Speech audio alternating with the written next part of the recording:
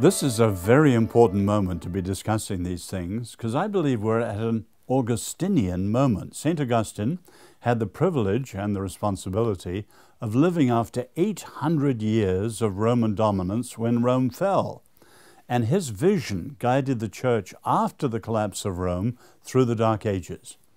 And here we are today after 500 years of Western dominance, and the West is in decline. But the central feature of our time is the global era.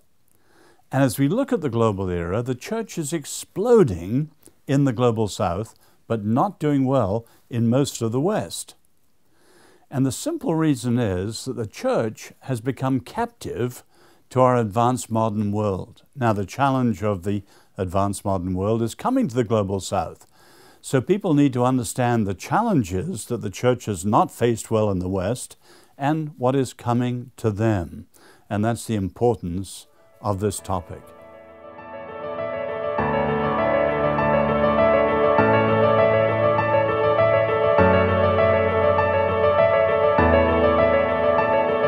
If we look at what's gone wrong, you've got to look at it first in terms of the long centuries behind it, and then the challenge of our modern world.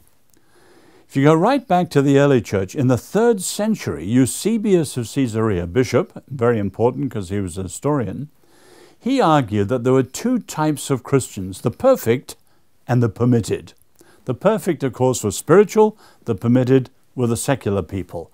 In other words, the priests, the monks, and the nuns, they were the perfect Christians, dedicated to the Lord, the aristocrats of the soul. And the permitted people were farmers and lawyers and soldiers, people who had children and made a living, and so on. And you had this two tier universe full time, part time, spiritual, secular. And that was absolutely disastrous because you had the pride and the elite, and then you had the rest of us off the hook. And I'm a layperson. Martin Luther shattered that. It was everyone, everywhere, in everything, including work. So before the Reformation, work was an awful necessity, and the people with wealth and leisure didn't have to work. But the Reformation came along through the teaching of Luther and Calvin, going back to the scriptures.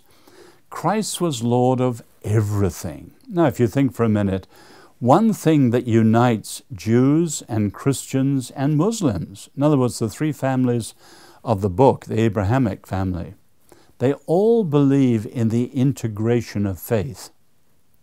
For Jews, it's under the Torah. For Muslims, it's under the Quran or the Sharia. For us who are followers of Jesus, it's under the lordship of Jesus. He's Lord of all, including work, or he's not Lord at all. In other words, the Reformation put that right.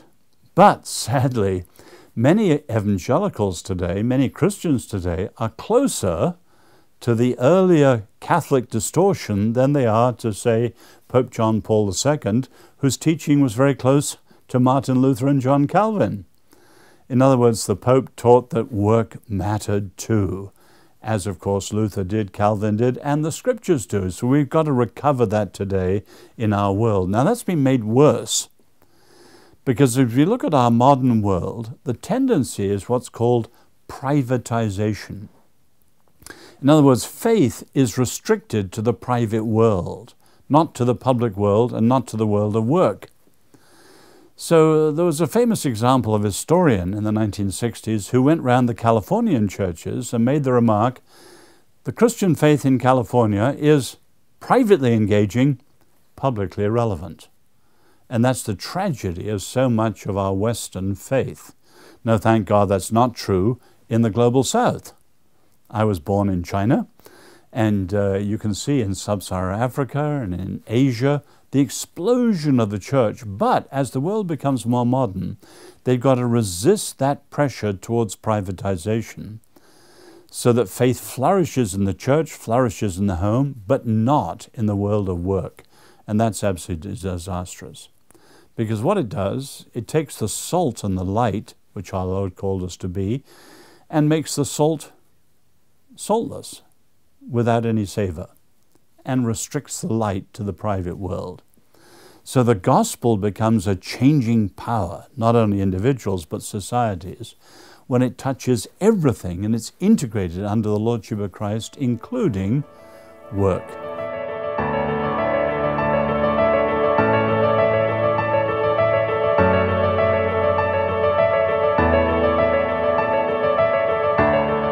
If we want to ask, how do we put this right? I think the single, simplest, central answer is the biblical notion of calling. Calling. Because calling simply means that when God calls us in Jesus, follow me, everything we are, our very being, everything we do, all our actions, and everything we have, our possessions, are now given a dynamic and a direction because they're done as unto Him, as a part of our calling. And you can see in history that's one of the great Christian truths, second only maybe to the cross, putting its stamp on culture and making a very practical difference.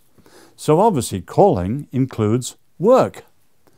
The Reformation was so good at that that people's jobs were described as their vocation, and there was sadly there was a confusion between occupation and vocation.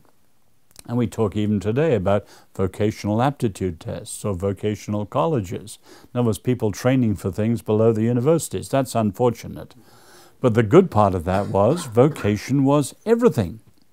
In Martin Luther's understanding, it was everyone, everywhere, in everything. So it included law and teaching, computer science and homemaking and politics, everything you can think of, journalism, everything, everyone, everywhere, in everything. And that's the sort of discipleship that we need to go back to today. Now, the Reformers made a lot of very helpful distinctions, and I like to mention those. They talked of the primary call and the secondary call. And there were three parts to the primary call. We're called to know and trust and love our Lord and His Father. And the heart of everything is relationship. But then we're called, secondly, to live His way. We're not called to believe the following ten doctrines. No, we're called to live the way of Jesus. And they were called followers of the way or followers of Jesus. Loving our enemies, for example. And then, thirdly, to share the faith the Great Commission. So introduce others to knowing Jesus the way we know him. And all that's part of our primary calling, and every Christian shares that calling. But then there's a secondary calling. And I like to think of three things there based on the parable of the talents and pounds. That includes our giftedness, the gifts we were born with, the things we're good at. It includes our resources. I don't just mean money. Our families and our colleges have given us strengths. Our cultures give us certain things. And then it includes our circles of influence. We're all in touch with certain people, certain family friends, certain neighbors, certain colleagues that nobody else touches. And they are part of our talents and pounds and our calling responsibility. Now put those together. And in the parable, Jesus told the king, the master gives one, two, five, ten talents, and then they get on with it. They multiply them, they maximize them to His glory. And calling is not like guidance specific. Guidance is specific, calling is entrepreneurial. There's a vision, there's a venture, there's a risk, and we're to do it on our own responsibility. And that's this notion of calling. So we've got to get people to see work matters. Everything we do in life matters. But we've got to take these talents of our calling before the Lord, like entrepreneurs, and multiply them, maximize them. So whether being given one talent, we give back one more. Five talents, five more. Ten talents, ten more when we see our Lord face to face. And that's the entrepreneurial energy and enterprise of following God's calling in the whole of life. Ideally, calling should be taught when someone's 10, 12, 15, or whatever. So we discover a sense of calling before we look for a career. The trouble is, many people have chosen a career. It was lucrative, their parents wanted to do whatever, everyone was going that way, and then when they're 45 or 50, they have a midlife crisis. They're a square peg in a round hole. Whereas if you have a sense of gifts and calling first and then choose career, then there's a match between it. Now, of course, for many people in our world, say countries like Zambia or Bangladesh, they have no choice. And of course, that's true in the Bible times, and it was true at the Reformation. So everything we do is a part of our calling. St. Paul says that the slave slaves for his master as unto the Lord as a matter of calling. So everything we do is a matter of calling, even the mundane, the menial, the humdrum, which we maybe don't want to do, but it raises it, gives it a dignity, because even that is a part of our calling. But people in somewhat wealthier countries who have more of a choice, it's good to try and choose things that fit your gifts and your calling. And then there's incredible joy. Of course, we retire eventually from a job, but you never retire from a calling. And we never finish our callings in this life. We're always following the call because we've heard the voice, follow me. But when we die for the first time, we will see the caller, in other words, the voice we've heard, we'll see the caller face to face. So you retire from a job, or you may at times be unemployed, but you're never out of a calling or retired from a calling.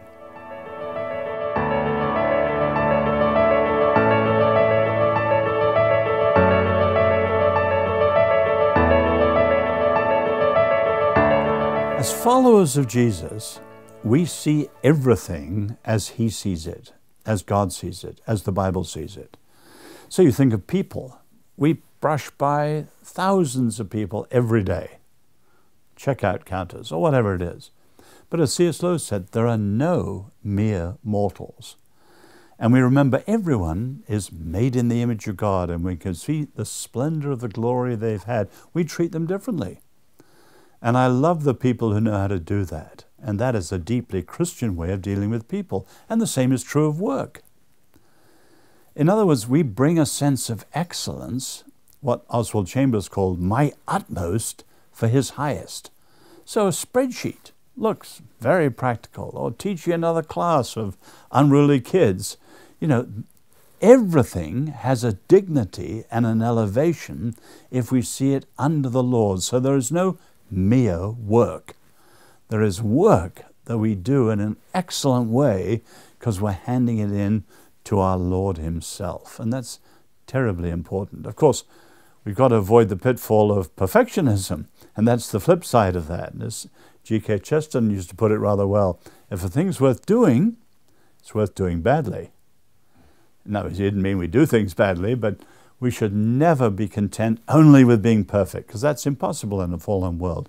But we should bring a sense of excellence into the way we deal with people and into the way we deal with work.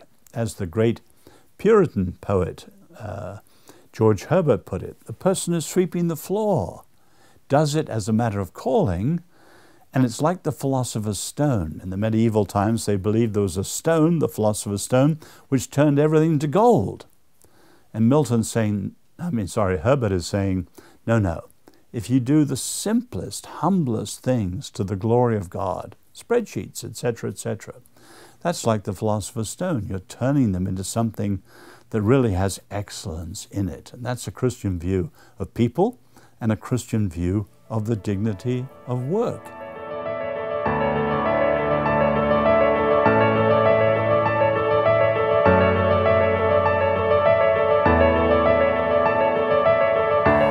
Put another way. Modern people are described as other directed. In other words, we're always doing things because we're seen. But the Christians in the New Testament, or the Puritans, were described as inner directed. They had a, a, a, a compass inside them. They'd swallowed gyroscopes, one historian said. The east, south, north, west, right, wrong, true, false was inside them. Because they were living, as the Puritans put it, before one audience, the audience of one. So we don't just do things that are right because we're seen, we do them because they're right before the Lord and there's an accountability behind everything we do. And that's incredibly important. We are not living before our families. We're not living before our clients. We're not living before our bosses. We're not living before our colleagues. We're living first and foremost before the Lord. One audience, the audience of one. And when we remember that, it gives us a standard of excellence, it gives us a standard of accountability that today's world simply doesn't have. Other directed, and often when people are invisible, they're not accountable. And that's one of the reasons for the ethical crisis. We're not seen, and so we don't behave the way we would when we're seen. We are always seen. We're before one audience, the audience of one.